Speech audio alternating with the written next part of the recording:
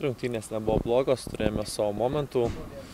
Galbūt nebuvo iš abiejų komandų tiek daug didelių momentų, bet tiek mes, tiek Kauno Žalgis turėjom savo momentų. Irgi sutikom su organizuoto komanda, žinom, kad yra tikrai organizuoti.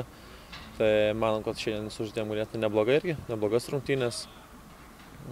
Pritruko galbūt meistriškumo momentuose, kuriuos turėjome. Ir, ir, ir patys galbūt kartais pritruko koncentracijos, kur, pavadinkim, padovanojom tam tikras momentus varžovams, tam tikras galimybės. Tai šiek tiek pritruko meistriškumo, bet, bet atsidavimas, noras, nusteikimas prieš rungtynės tikrai tenkina. Ir, ir tikrai esame jau nekartą įrodę šį sezoną, kad, kad tikėdami, išėdami aš atvirkintys, tai tikrai galime nuveikti daug. Tai norime pamiršti tas rungtynės ir, ir turėsim truputį daugiau laiko atsipūsti, pasiruošti sekančiam rungtynėm ir žiūrime į priekį. Pirmajame kelinyje atlikot keitimą, Akselį Kalermą pakeitė Mindaugas Grigaravičius, kodėl toks keitimas buvo atliktas?